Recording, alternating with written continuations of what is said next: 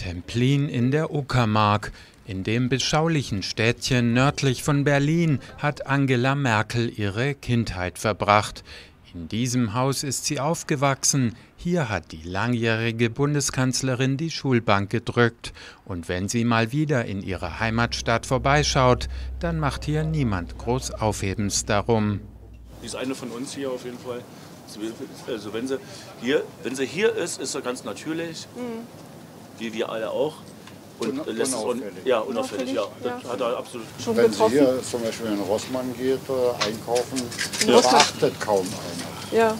Weil sie ist ja auch oft, ich sag mal, inkognito hier, ja. dass das mhm. keiner weiß und da bewegt sich ganz normal. 1954 in Hamburg geboren, verbrachte Merkel von 1957 bis 1973 ihre Kindheit und Jugend in Templin. Hier machte sie 1973 auch ihr Abitur.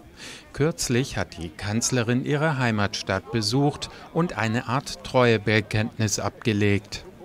Ich bin ja hier aufgewachsen von 1957 bis zum Abitur und weiß auch, wovon ich rede.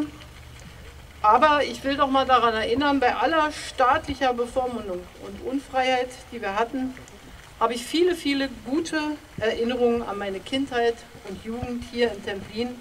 Und natürlich ganz besonders, das liegt in der Natur der Sache, an den Waldhof. Und es wird immer so bleiben, hier komme ich her, hier sind meine Wurzeln und sie werden hier auch immer sein.